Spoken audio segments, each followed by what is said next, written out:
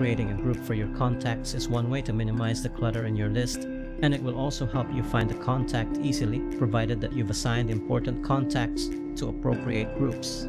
In this video, we will show you how to create a contacts group on your Samsung Galaxy Z Flip 4 to help you manage your contacts easily.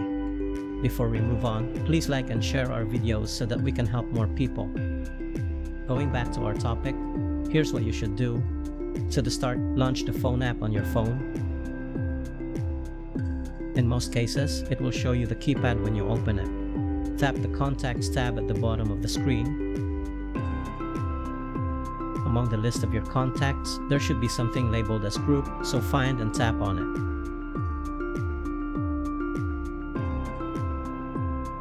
Now tap the plus sign at the top right corner of the screen.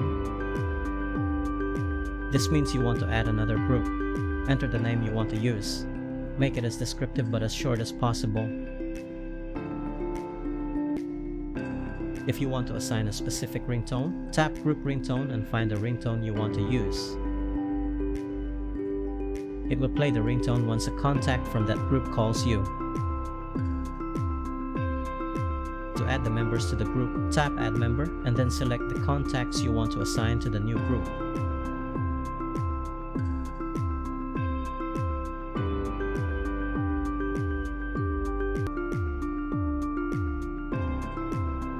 If you accidentally added a wrong contact, just tap the minus sign next to the contact and it will be removed. Once you've done that, tap save and the settings you changed will be saved.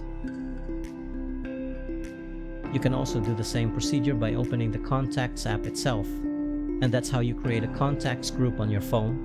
We hope that this simple tutorial can be helpful. You may subscribe to our channel to support us or click one of our videos to continue watching. Have a great day.